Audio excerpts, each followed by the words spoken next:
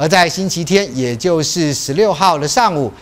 市长魏家贤也参加了国父里的根努伊部落丰年祭和太平洋公园登场的巴尔巴尔兰部落丰年祭。市长除了自赠丰年祭的大红包之外，也和族人们热情共舞，更鼓励年轻族人要经常的返乡关心部落事务，一起来振兴部落，传承原住民的文化精神。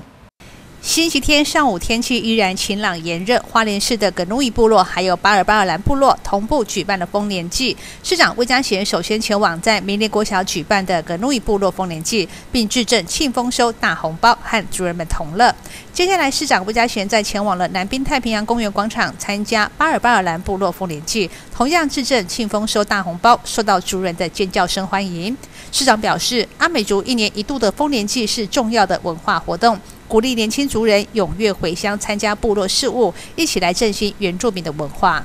那我们这个礼拜六、礼拜日哈，总共办了四场的丰年祭。那我们谢谢我们部落的头目，那一起把呃过去族人的文化能够传承下来。那我们希望更多的年轻朋友哈都能够回到部落，一起来捍卫部落的文化之外，也能够把相关部落的文化传承下来。那么主要是希望语言的部分哈，语言的部分务必要请大家族人们都能够持续在学习。那我们可以看到很多的族群因为失去语言而渐渐失去了原本传统的文化。那我们希望借由丰年祭各种不同的庆典里面，能够找寻出学习的一个机会，那也找寻出学习。文化过去老祖宗的一个智慧，那今天还是要感谢我们所有的族人们回来参加部落丰年祭。那花莲市公所也会全力的持续支持相关的活动。那再只要谢谢原住民委会、花莲县政府，